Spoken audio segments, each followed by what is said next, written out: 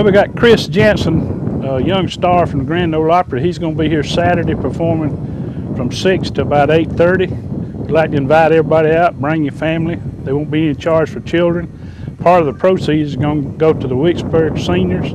This is be Sue's birthday Saturday. We named the lake after my daughter, Patti Sue Mathis, who's deceased. This property behind me here used to be Buzzard Bay. That's what everybody called it. And I purchased the property from the Casey Brothers Lumber Company in Dothan, Alabama. I got a permit from the Corps engineer to build a dam across where my property line is.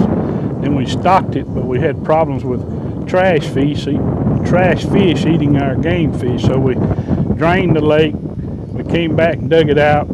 It's 70 acres in size. We've got it restocked. We've had it stocked about two years. We got brim, shellcracker, bass, catfish in it. We're gonna open the lake up for fishing to the public on Saturday week, which will be the 14th. And we hope everybody will come, bring your kids and have a good time. We got it cleaned up around the edge so everybody can see what's happening and uh, we're looking forward to it. We got this old house here. We moved over here.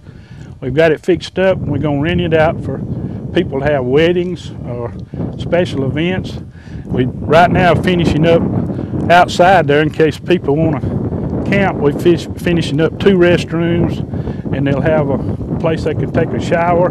And down on the lake is the Naughty Lady. That's a houseboat I found down in Florida. And we're putting electricity, water, and sewer to the Naughty Lady. And what we're gonna have is a the bride might want to spend the night on the Naughty Lady. Who knows? Well, I used to fish in this thing when I was little, and it would dry up, and, and sometimes it would be full of water. And I've always dreamed. Of, of course, I didn't own the property then, but I, I dreamed of putting a lake here, and uh, it's finally come about. We've been working on it a pretty good while, but I was just trying to have something to people to remember my daughter. Right, part of the part of the funds from from the concert is going to go to the seniors.